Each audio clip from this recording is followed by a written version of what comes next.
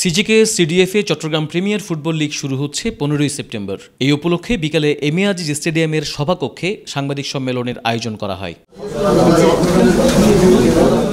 এই সময় লিখিত বক্তব্য পাঠ করেন জেলা ফুটবল অ্যাসোসিয়েশনের সাধারণ সম্পাদক ইয়াসির আরাফাত চৌধুরী পাবলু সাংবাদিক সম্মেলনে উপস্থিত ছিলেন চট্টগ্রাম জেলা ফুটবল অ্যাসোসিয়েশনের সভাপতি এস এম শহীদুল ইসলাম সহসভাপতি নজরুল ইসলাম লেদু যুগ্ম সম্পাদক সালাউদ্দিন জাহেদ চট্টগ্রাম জেলা ক্রীড়া সংস্থা সিজেকেএস এর সহসভাপতি মোহাম্মদ হাফিজুর রহমান অ্যাডভোকেট শাহিন আফতাবুর রেজা চৌধুরী যুগ্ম সম্পাদক মোহাম্মদ আমিনুল ইসলাম মশিউর রহমান চৌধুরী নির্বাহী সদস্য বীর মুক্তিযোদ্ধা M A Hashem G M Hasan Mohammad Nasir Mia CDF এর নির্বাহী সদস্য কাজী জসিম উদ্দিন সহ সিজিকেএস ও সিডিএফ এর কর্মকর্তারা এতে জানানো হয় এবার লিগে দশটি দল অংশ নিচ্ছে সিঙ্গেল লিগ পদ্ধতিতে মোট পঁয়তাল্লিশটি ম্যাচ অনুষ্ঠিত হবে প্রচার করতেছে কালকে থেকে মাইকিং করতেছে হ্যাঁ বিভিন্ন জায়গায় মাইকিং হবে ওই মানে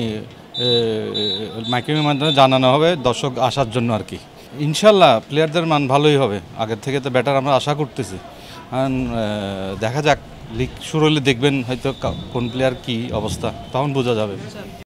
পনেরোই সেপ্টেম্বর লীগের উদ্বোধনী অনুষ্ঠানে প্রধান অতিথি হিসেবে উপস্থিত থাকবেন চট্টগ্রাম জেলা ক্রীড়া সংস্থার সাধারণ সম্পাদক আজম নাসির উদ্দিন আর লীগের উদ্বোধন করবেন পৃষ্ঠপোষক প্রতিষ্ঠান সাইফ পাওয়ার টেক লিমিটেডের ব্যবস্থাপনা পরিচালক তরফদার মোহাম্মদ রুহুল আমিন লিগে যেহেতু আমরা সাইফ পাওয়ার টেক স্পন্সরশিপ এখানে দিয়েছি তো আমরা একটা এখানে অনেক ভালোগুলো প্লেয়ার আসবে এখান থেকে ঢাকা থেকে প্লেয়ার আসবে বিভিন্ন টিমগুলোতে দশটা টিম অংশগ্রহণ করতেছে বি লিগে খেলে ঢাকায় ওইরকম কিছু প্লেয়ার আসবে এবং সম্ভবত বিদেশি কিছু প্লেয়ার এখানে আসবে কোটায় তো এবার লিগটা খুব প্রতিদ্বন্দ্বপূর্ণ হবে বলে আমি আশা করি লিগের প্রতিটি ম্যাচ অনুষ্ঠিত হবে চট্টগ্রামের এম এ আজিজ স্টেডিয়ামে সবগুলো খেলা সরাসরি সম্প্রচার করবে এন স্পোর্টস